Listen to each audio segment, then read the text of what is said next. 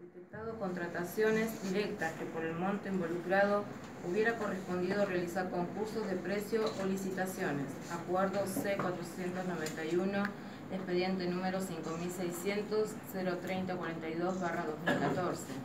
Que en los ejercicios 2015 y en curso pueden observarse operaciones dudosas por parte del Departamento Ejecutivo Municipal que los estados de ejecución presupuestaria no son presentados en tiempo y forma por parte del Departamento Ejecutivo Municipal y que los expedientes a considerar corresponden a la Administración Pública.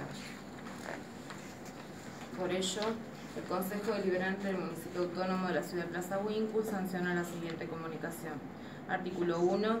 Solicita al Tribunal de Cuentas de la Provincia de Neuquén, en la persona de su presidente, doctor Hugo Acuña, permita a este Consejo Deliberante tomar vista de los expedientes números 5600-03042-2014 y 5600-03512-2016 en trámite ante este, ese tribunal. Artículo 2 y 3 de forma.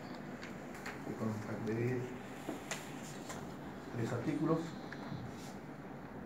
Votación en general. Afirmativo. Votación en particular.